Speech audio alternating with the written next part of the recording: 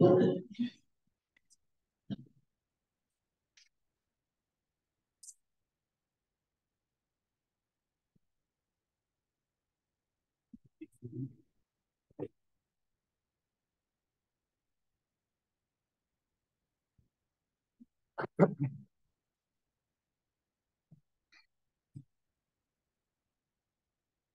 evening, everyone.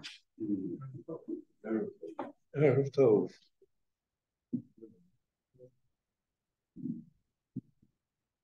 This week's parsha has 74 mitzvahs. Lo Sasa and Asay contained within it. It and Parshas Kedoshim are the uh, parshas that have the most numerous mitzvahs of the Torah recorded within a parsha. One of the mitzvahs that is mentioned that really, uh, to a certain extent, is not relevant to us is Izor Lacha Benegat Soratz. Be careful how you treat the uh, plague of Tzoras. So the Gemara says that that's a law in the Torah, that you, you are not allowed to treat it. You have to go to the Kohen, and the Kohen has to diagnose it, and the Kohen is the one that will tell you what to do. Musgor, Muchlat, etc but you should not treat it. You shouldn't uh, uh, surgically remove it. You shouldn't uh, shouldn't do anything. That's the lav. The next pasuk is Zochar Asher Oso Hashem Miriam. Remember what happened to Miriam in the Midbar? That she was afflicted with tzoras, and the Jewish people waited for her to seven days till she was healed. And uh, this is one of the Sheish Zechirot, one of the six items that a Jew is supposed to remember every day. So, like Zachor, Yom Shabbos, Lakan show, we have a second Zachor in the parsha of Zohar Zashem Osol Amalek, to remember Amalek, remember Yitzias Mitzrayim, remember Matan Torah. These are things that should be constant with us. So, what is there to remember about Miriam? I understand to remember Shabbos, because that's one of the pillars of Jewish behavior. I understand to remember Amalek because that explains the national situation in all generations. I remember Yitzias Mitzrayim because that's the basis. Everything is Zecher Mitzrayim. But what is there to remember Miriam? Miriam, the great prophetess, the sister of Moshe and Aaron, was afflicted with tzoras, and the Jewish people waited for her. So why should we remember that more than remember the story of the Meraglim, or remember the story of the ego? So the Meforshim all say, because that's the juxtaposition of the uh, two psukim. First, the Torah told you to be careful about Tzoras. Now the Torah gives you an example. Another mitzvah, but what first was a lo saseh, and there's a mitzvah to remember what happened to Miriam when she had Tzoras. This is based on the, the fact that the opinion of the Talmud is that Tzoras comes from evil speech, from Lashon Hara. And therefore, uh, remember, the Ramban says that uh, from here we see that the Avera of Lashon Hara is of such significance that even the great and pious woman who herself saved the Jewish people and saved her brother, nevertheless, the Torah says, look what happened to her because she and Aaron spoke Lashon Hara against Moshe.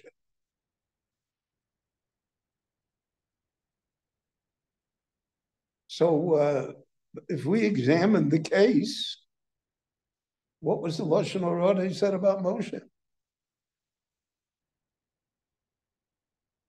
The only thing they said is uh, we don't understand why he gave up his family life and separated himself from his wife.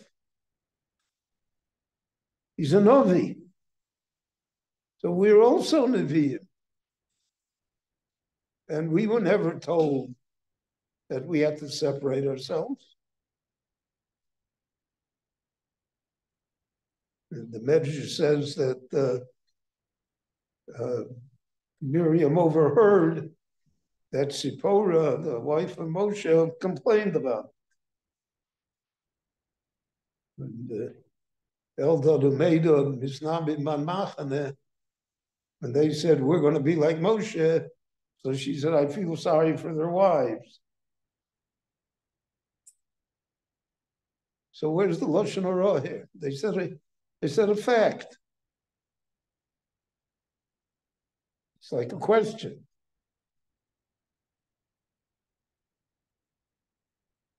So the Chafetz Chaim in his uh, Chafetz Chaim wrote a Shulchan Aruch on Lashon Hara. Number Svarim. So there are two volumes of the Sefer Chafetz Chaim itself. But then he wrote another book called Shmiras Haloshon, how the guard against Lashon Hara. In the Shmiras Haloshon, he discusses this at length. What was their sin? What lay it? She should be punished publicly. She gets her and the whole Jewish people have to wait. And then they say, well, come we're not moving? Oh, Miriam's got eyes.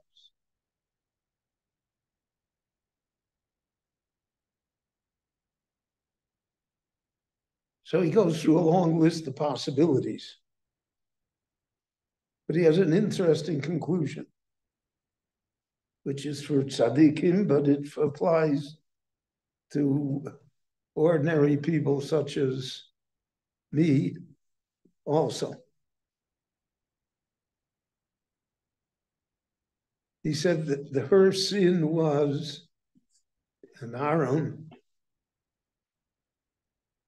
that they were not Malamed Schus on Moshe. They didn't look, they didn't say, why should Moshe behave so differently than us? They didn't examine it. And they didn't say, well, maybe he was told to do so. Maybe he's a Navi in a different level of Nevuah than we are. Maybe he has to maintain a different level of Tahara than we do. So the Chofetz says that the Avera was because they were not Malamed One of the hardest things he says for people to do is to be Malamed If you're Malamed the newspapers have to go out of business which would be a good idea anyway.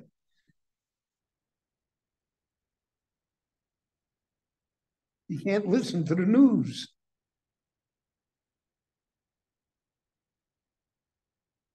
And yet the Torah wants us to be Malamed Schuz to somehow justify others, to say there must be a reason. The Chaim says if we're Malamed Schuz on others, then in heaven they're Malamed Tzlus on us. But if we uh, we are not able ever to find compassion and excuse for others, So uh, the Derek showed him road said Leilech Malichin also. Yeah, do we have time yet? Yeah? Okay. There's a wonderful Gemara, famous Gemara. The Gemara is about Rabbi Akiva. But Rabbi Akiva is not mentioned. It, the Gemara says anonymously. There was a worker that he worked in this in the Negev.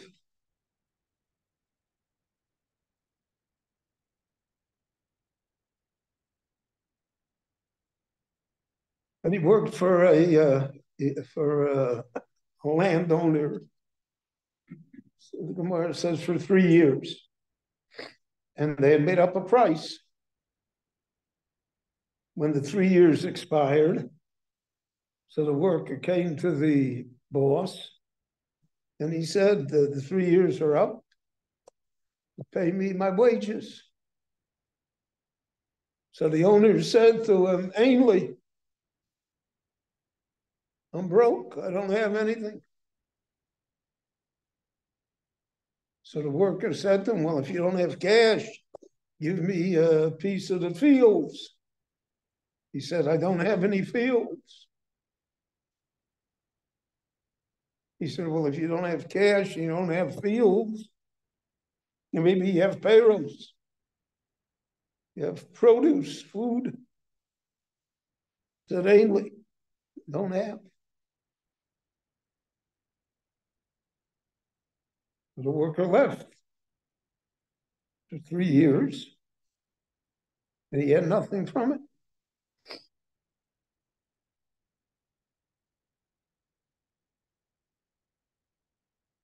A year later, Gemara says, the owner, the boss, shows up at the worker's house. And he brings with him three donkeys that are laden with all the treasures of the world. And he said, the worker sees him and he invites him in, and they have, uh, you know, a cup of coffee together, and uh, they, they're friends. And he says, I'm leaving these three donkeys laden with all of this treasure and that's for the three years that you worked. He says, but before I do that, I want to ask you. When I told you that I didn't have Bamed Antoni, what did you think then? What did you say? What did you say to yourself then? You worked three years we had an agreement you should get paid. They come said you should get paid. And I told you that I don't have. So what did you think of me then? So the worker said to him, Well, you didn't have cash. I thought that a great mitzvah of Pidyon Shvuyim came up that day and you had to give all of your money for the mitzvah of Pidyon Shvuyim. So you didn't have cash. So he said, and what about a piece of the field? He says, well, I thought that maybe uh, the tax man came and since there was no cash, they took all your fields away. You didn't have any. And he said, and what about the Perus? He said, I thought that all of them turned rotten. You didn't have any. So the man said, Kachoya. You're right. Those are the exact three things that happened to me. And within a year, the Ribono Shel Olam blessed me that I was able to restore all my wealth. And I'm here to pay you and Ashrecha Shekocha Dantoni. You should be, you're fortunate that that's what you thought of me, that you were done Lekaf Schus. So the Ramban says here that this story, we have a story that Rabbi Akiva married the daughter of Kalba Savua. Kalba Savua is uh, the wealthiest, most influential oligarch that the Jewish people had. Rabbi Akiva can't read Aleph Beis.